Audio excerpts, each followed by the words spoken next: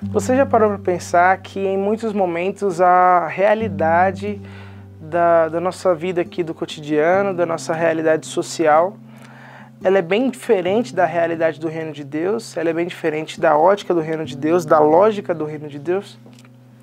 Queria te convidar hoje a ler a sua Bíblia é, no Evangelho de Mateus, Mateus capítulo 20, diz assim: Então Jesus, chamando-os, disse: Sabeis que os governadores dos povos os dominam e que os maiorais exercem autoridade sobre eles. Não é assim entre vós, pelo contrário, quem quiser tornar-se grande entre vós, será esse que, que vos sirva. É muito, é muito louco a gente olhar para essa realidade, por quê? Porque Dentro do nosso contexto, a gente sempre sabe que quanto maior a gente tem autoridade, quanto maior a gente tem influência, mais benefícios nós vamos ter. Então, eu, na minha lógica da, do meu dia a dia, eu sempre penso: quanto maior eu for, mais eu vou ganhar. Só que dentro da ótica do reino de Deus, quanto maior eu for, mais eu sirvo, mais eu entrego, mais eu dou.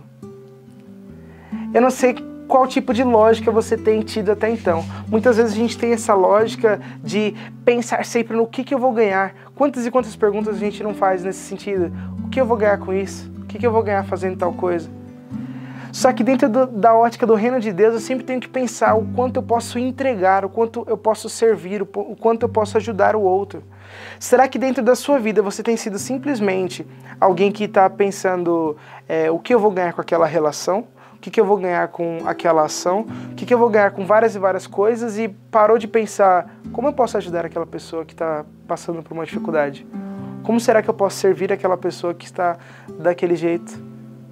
Como será que eu posso agregar valor na vida da outra pessoa? Será que a gente tem sido de fato intencional nas nossas relações?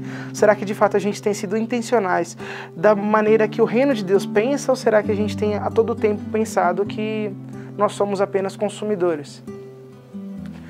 O reino de Deus não te trata como um consumidor.